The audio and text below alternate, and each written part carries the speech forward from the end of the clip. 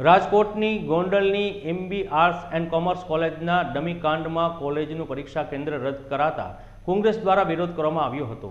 રાજકોટ જિલ્લાના ગોંડલની MB arts and commerce કોલેજમાં સૌરાષ્ટ્ર યુનિવર્સિટીની પરીક્ષામાં ભાજપ અગ્રણીના ડમીકાંડના મામલે સૌરાષ્ટ્ર યુનિવર્સિટીનું પરીક્ષા કેન્દ્ર રદ કરવામાં આવ્યું છે, જેને લઈને કોંગ્રેસના આગેવાનો મોટી સંખ્યામાં સૌરાષ્ટ્ર યુનિવર્સિટી ખાતે પહોંચ્યા હતા અને કોલેજનું પરીક્ષા રદ ન કરવા જણાવ્યું હતું, તેમજ ડમીકાંડમાં ભાજપના પૂર્વ પ્રમુખ અલ્પેશ ડોલરિયા સામે કાયદાકીય પગલાં લેવાની ઉગ્ર માંગ કરી હતી. આ તકે મોટી સંખ્યામાં કોંગ્રેસના આગેવાનો, કાર્યકર્તાઓ તેમજ સભ્યો ઉપસ્થિત રહ્યા હતા. અમારી ગોંડલ શહેર કોંગ્રેસની ટીમ યુનિવર્સિટી આજે કુલપતિ સાહેબને આવેદન દેવા આવ્યા છીએ કે ભાઈ, તમે જે પરીક્ષામાં ગોંડલનું જે કેન્દ્ર રદ કર્યું છે એમબી કોલેજનું, એ માત્ર એક અલ્પેશભાઈ ઢોલેને લીધે તમે બધા વિદ્યાર્થીઓને શું કામ હેરાન પરેશાન કરો છો કે એમને રાજકોટ પરીક્ષા દેવા આવવી પડે? અમારી એક જ માંગણી છે કે ભાઈ, પહેલાં તો સૌ તમે ગોંડલનું કેન્દ્ર ત્યાં જ રાખો, તેમને ત્યાં જ વિદ્યાર્થીઓને પરીક્ષા. ભલે કોલેજમાં નહીં તો બીજી કોઈ જગ્યાએ, જે કુલપતિ સાહેબે કીધું એ મુજબ, કે ગોંડલમાં જ અમે વ્યવસ્થા કરીએ છીએ તો એ અમને મંજૂર છે. બરોબર છે? બાકી વિદ્યાર્થીઓને અહીંયા રાજકોટ સુધી હેરાન ના કરો આપ. બરોબર છે? અને અલ્પેશભાઈ ઢોલરિયા ઉપર કાયદેસર ફોજદારી કાર્યવાહી થવી જ જોઈએ. એમાં કોલેજ તંત્ર અને યુનિવર્સિટી બંને ઢીલા પડી રહ્યા છે. એનએસયુઆઈમાંથી જે અહીંયા રજૂઆત કરવા આવ્યા હતા એનએસયુઆઈના અમારા ભાઈઓ એ જિલ્લાની અમારી ટીમ હતી. એ લોકોને ખરેખર ત્યાંની સ્થિતિ ના ખબર હોય કે આમાં કેટલા વિદ્યાર્થીઓ હેરાન થાય, શું થાય, અમારા ભાઈઓ એ વાતથી કદાચ ન અજાણ હોય. બરાબર છે? બરોબર છે? એટલા માટે અમે અહીંયા પાછા રજૂઆત કરવા માટે આવ્યા છીએ. એ કોલેજમાં બે હજાર વિદ્યાર્થી છે આશરે. તો તમે એવું માનો છો કે શું બે હજાર વિદ્યાર્થી બધા આવા બોગસ હશે અલ્પેશ ટોલેરિયા જેવા તમારું એવું માનવું છે? પરંતુ જે રીતે સીસીટીવી માં જોઈ શકાય છે માસ કોપી કેસ થઈ રહ્યા છે વિદ્યાર્થી જગ્યા બદલાવી રહ્યો છે. તો એ એ કોલેજ તંત્ર બરોબર છે અને યુનિવર્સિટીની જવાબદારી છે. બરાબર છે? અમે અમે એ દિવસે અમે નહીં. તમે એનાથી સહમત છો કે ના અમે નથી. કારણ કે એક બે પાંચ વિદ્યાર્થી કે અમુક વિદ્યાર્થીને લીધે બધા વિદ્યાર્થી હેરાન થાય, એ અમે કોઈ કાળે નહીં સહન કરી લઈએ. અમે એના માટે કોઈ પણ લડત કરવા તૈયાર છીએ. ગોંડલના કેન્દ્ર બાબતે અગાઉ પણ આ જ પ્રકારે એક વિદ્યાર્થી પાંખે મારી સમક્ષ રજૂઆત કરી કે ગેરરીતિના કેસો ચાલે છે, એટલે કેન્દ્ર રદ કરવું. અને એની સામે ગોંડલના જ કેટલાક પ્રજાજનો અને ખાસ કરીને મને જે આપ્યું છે શહેર કોંગ્રેસ પ્રમુખ અને અગાઉ આપ્યું હતું એનએસસીઆઈએ એક રજૂઆત કરે છે કે ગેરરીતિને કારણે કેન્દ્ર રદ કરવું. અને આજે મને શહેર કોંગ્રેસ પ્રમુખ એવી રજૂઆત કરે છે કે ગોંડલનું કેન્દ્ર ચાલુ રાખવું. એટલે આ બાબતે યુનિવર્સિટી બહુ સ્પષ્ટ છે. ગેરરીતિ અટકાવવી એ યુનિવર્સિટીનું મુખ્ય કાર્ય છે.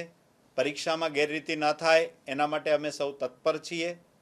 અને આ કેન્દ્ર એટલે એમબી આર્ટ્સ કોલેજનું કેન્દ્ર અમે પૂર્વે અમારી સિન્ડિકેટમાં પણ નિર્ણિત કરેલું છે કે આ કોલેજમાં જ ગેરરીતિ થઈ રહી છે અને એ કોલેજનું કેન્દ્ર અમે રદ કરી રહ્યા છીએ.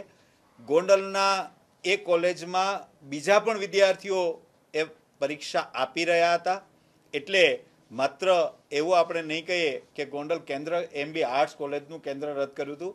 એટલે આવી પારસ્પરિક વિરોધાભાસી રજૂઆત એ તંત્રને ક્યાંક ગેરમાર્ગે દોરતી હોય અથવા તો તંત્ર ગેરમાર્ગે નથી દોરાતું, પણ પ્રજા ગેરમાર્ગે દોરાતી હોય, તો મારે આજે એમ કેવું છે કે ગોંડલના વિદ્યાર્થીઓને કોઈ પણ પ્રકારની મુશ્કેલી નહીં થાય અને વિદ્યાર્થી જ્યારે પરીક્ષા આપવા આવે છે ત્યારે સ્ટ્રેસ સાથે આવતો હોય છે અને એ સ્ટ્રેસમાં કે એના મનોભારમાં અમે જરા કંઈ વધારો કરવા માટે યુનિવર્સિટી તંત્ર એ એવા પ્રકારના નિર્ણય નથી લેતા. અમારે ગેરરીતિ અટકાવવી એ અમારું મુખ્ય કાર્ય છે અને સો ટકા કે આવા ગેરરીતિના કેસો એ અટકાવવા માટે તંત્ર આજે સાબદું થયું છે. એટલા માટે આવા કેસો એ આપણી સામે આવે છે. પૂર્વે નહોતા બનતા બનતા એ બાબતમાં હું નથી પડતો. પણ અત્યારે યુનિવર્સિટી આ પ્રકારની જે લાલિયાવેડી છે એ ચલાવવા માગતી નથી એ અહીંયા સ્પષ્ટ થાય છે. આપની વાત અગાઉ પણ આ જ પ્રકારે રજૂ કરી હતી.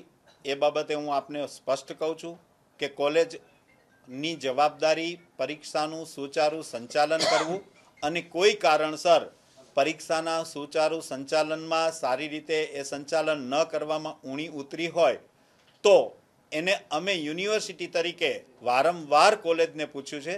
અમને પૂર્ણ સહકાર નથી આપ્યો. એટલા માટે કમિશનર હાયર એજ્યુકેશનને પણ અમે આ બાબતે જાણકારી આપીશું. એના જે મ્યુનિસિપાલ સંચાલિત કોલેજ છે, તો એના ટ્રસ્ટને પણ અમે જાણકારી આપીશું કે આ પ્રકારે અમને સહકાર નથી આપ્યો.